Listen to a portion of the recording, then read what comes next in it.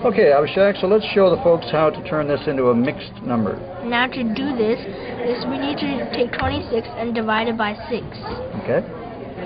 So we take 26 divided by 6.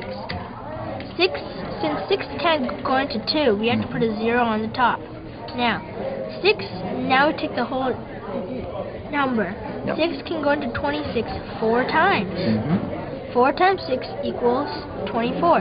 So we would put 24 down here and we would subtract it with 26. All right. 6 subtract 4 equals 2, and 2 subtract 2 equals 0.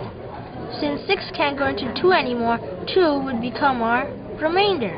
Okay. Now, how to turn this into a into a um, mixed number?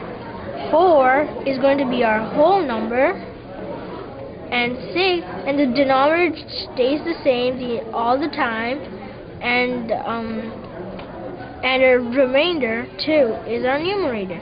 We can simplify this way, so it would be four one thirds.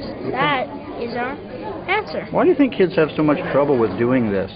It's because they might not know how to time, like m- multiply numbers, or they might have trouble dividing. Right.